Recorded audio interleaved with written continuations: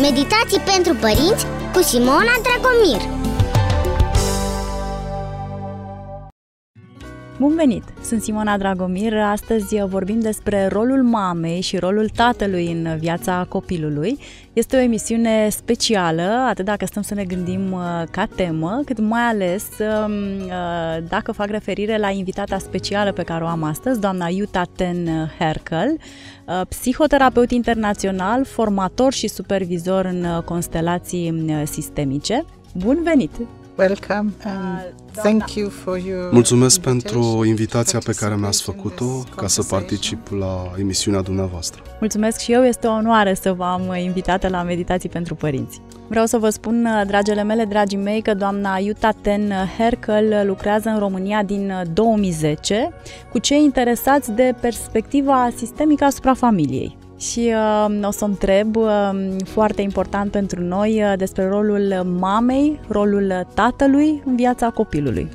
First question uh, is very important for all of us. What is uh, the role, from your perspective, the role of the father and the mother in the child's life? I think um, in our present society, uh, the role of the Consider că uh, în momentul de față, în societatea noastră, perspectiva asupra rolului mamei și, a, și tatălui în viața copilului capătă o importanță deosebită pentru că, din punct de vedere științific, începem să înțelegem mai bine care este impactul acestora, mai ales în primii ani de viață ai copilului. In the first instance, pe primul loc uh, se află influența mamei pentru că ea este cea care poartă și care leagă prima legătură cu copilul. And there is already a bond și din acest punct de vedere, pe timpul sarcinii există deja o legătură între mamă și copil și într-o anumită măsură și cu tatăl, desigur mai ales când este prezent. Mm, Cunoaștem deja din uh, psihanaliză că legătura se creează, cea mai importantă parte a legăturii se creează în primii ani de viață, deja din uh, opera lui Freud și a celorlalți psihanaliști. Și consider că în uh, zilele noastre părinții se află într-o poziție foarte dificilă.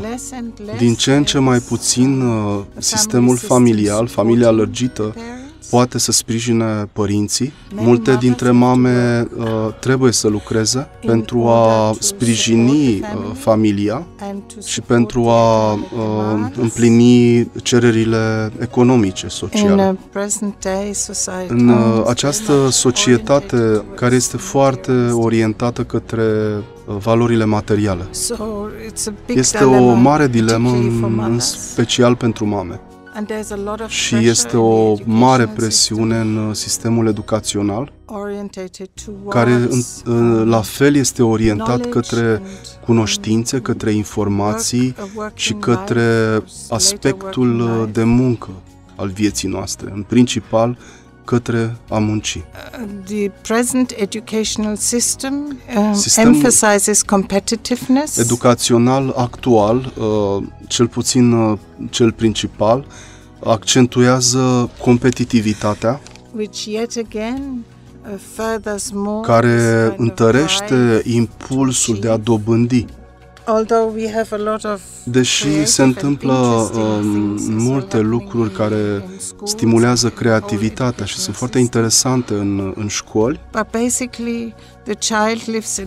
Totuși, în mod fundamental, copilul trăiește într-un mediu în care nu este încurajată spontaneitatea și creativitatea, ci competiția și conformismul. De aceea, în acest context, mamele sunt și ele foarte mult timp separate de copiilor. În această structură economică. modernă.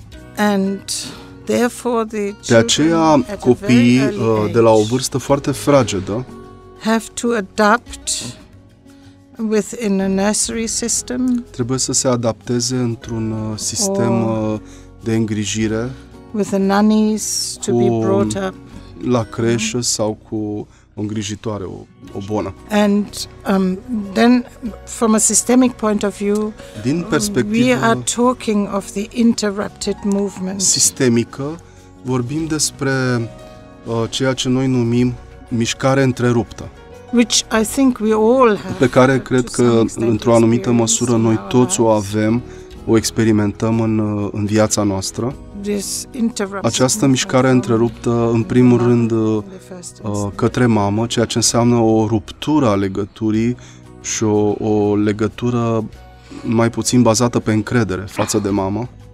Mothers are Deci, după cum spuneam, mamele se află în, într-o situație dilematică with foarte mare. no, more knowledge Cunoaștem of mai the multe despre efectele this, uh, separării separation. timpurii uh, de, că- de mamă, and on the other hand, dar pe de altă parte societal uh, în pressures. această presiune socială incredibilă. Ce înseamnă separare timpurie?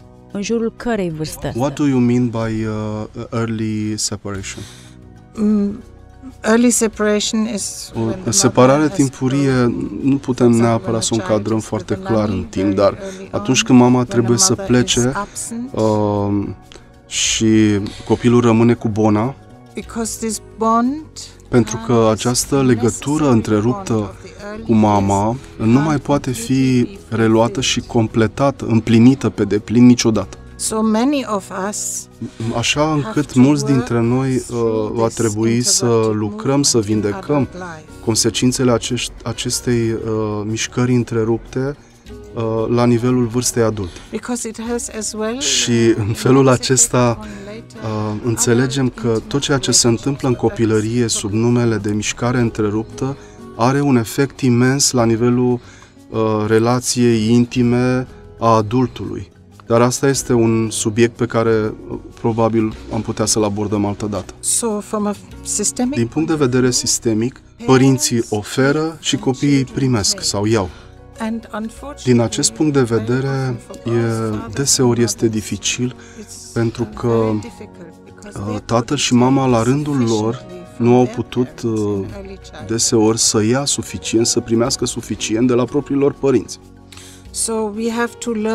Deși ar adults, trebui să fie natural, in very difficult practic noi ways avem to uh, de be învățat ce parents, înseamnă să, să although fim it should be părinții natural. buni la, ni- la vârsta adultă.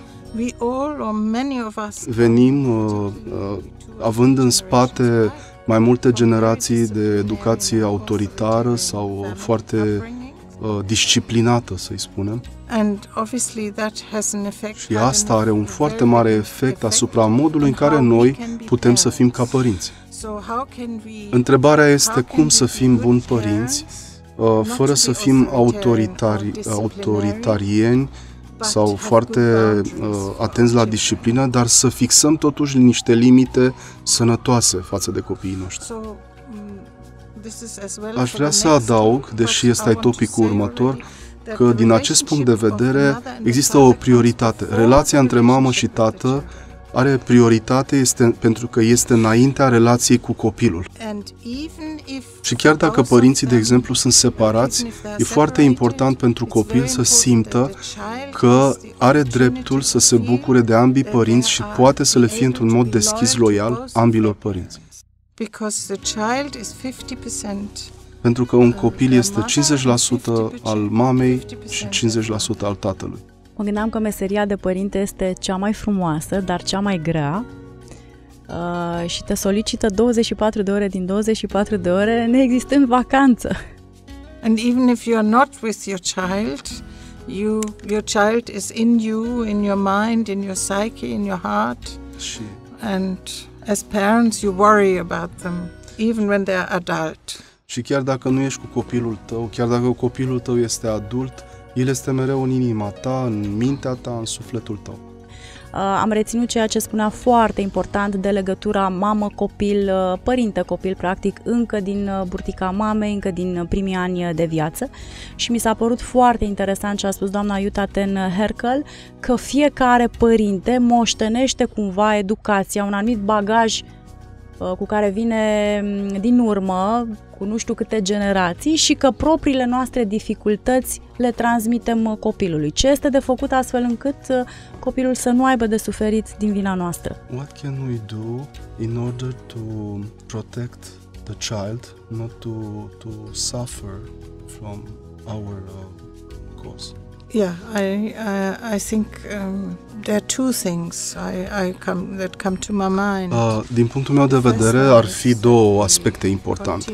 Primul uh, se referă la uh, spontaneitatea, la încurajarea spontaneității și a creativității copilului, datorită faptului că sistemul edu- educațional, uh, punând accentul pe competitivitate și pe cunoaștere, pe cunoștințe, uh, distruge într-un fel structura internă naturală a copilului. And the second one is as parents that we um, Al doilea aspect pe care îl uh, promovez, pe care îl îl putem uh, lua în considerare, este că noi, ca părinți, avem nevoie să lucrăm uh, continuu asupra, asupra noastră, asupra propriei noastre persoane și să devenim conștienți din uh, structura valorică pe care noi o moștenim, ce dorim să păstrăm, ce dorim să transmitem copilului și ce ar trebui schimbat.